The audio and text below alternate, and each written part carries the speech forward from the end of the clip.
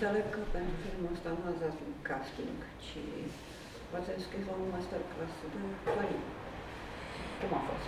Ne-am, ne-am uh, înscris inițial online la un masterclass de actorie, după care a avut loc o discuție a fiecăruia dintre noi cu Cristi, uh, care a fost un semicasting. Am discutat și despre viață, am citit și un pic dintr-un text, uh, fiecare s-a manifestat cum a putut. N-am, n-am asistat la probele colegilor mei, dar eu cu siguranță ceea ce am experimentat trece și ca probă de casting înțeleg că ați participat și la scrierea textelor. Da, așa este. Cam a doua etapă a workshopului, uh, după o primă etapă în care ne-am uitat la filme și am discutat destul de mult despre locul actorului, despre locul autorului, despre locul cinemaului în lume. a doua etapă, într-adevăr, a însemnat uh, scrierea scenariului și pentru scriere ne-am grupat câte doi, câte trei și am, uh, am generat niște texte care ulterior au fost uh, supervizate, să spunem așa, de Cristi. Deci tușa finală îi aparține. Am înțeles. Uh, deci mare parte din dialogul primei secvențe, hai să zicem, vă aparține. Mi-aș dori foarte mult, mi-aș dori foarte mult să-mi fie aparținut, dar din păcate nu mi-aparține. Uh, pentru prima secvență știu că textul s-a produs foarte, foarte, foarte aproape de filmare. Noi am încercat să scriem ceva, uh, a avut loc o reorganizare a echipei care a scris. Uh, eu i-am dat lui Cristi un text peste noapte și a doua zi mi-a fost livrat un alt text care îi aparține lui în proporție de 100%.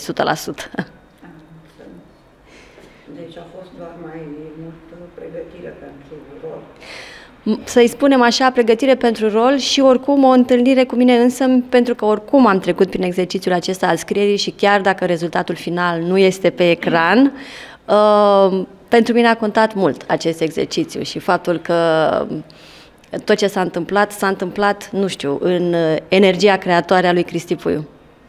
Cum ați găsit tonul potrivit pentru rol? Aici... Uh... Da, da, da. Aici nu pot să-mi dau seama dacă efortul îmi aparține sau nu și aș tinde să spun că nu îmi aparține, pentru că uh, lucrul cu Cristi Puiu, cred că toți colegii mei pot să o confirme, uh, este un fenomen care se produce de la sine. N-aș ști să, n-aș ști să vă explic cum.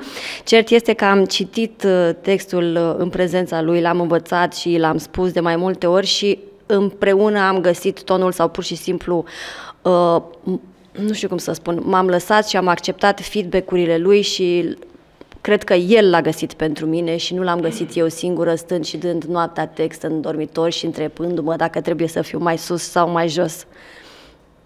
Până la urmă, de ce v-ați spus la masterclass-ul de actorie?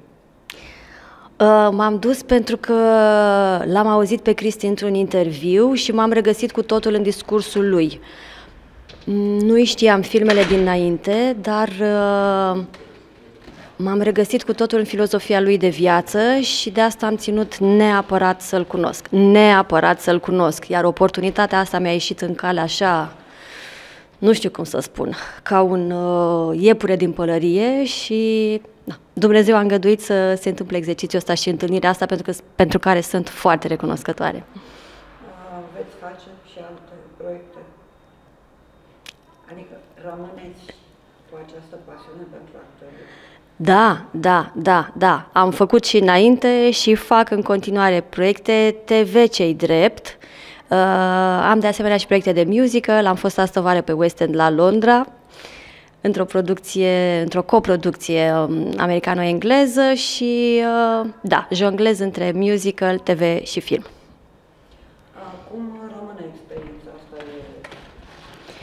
singulară sau are continuație?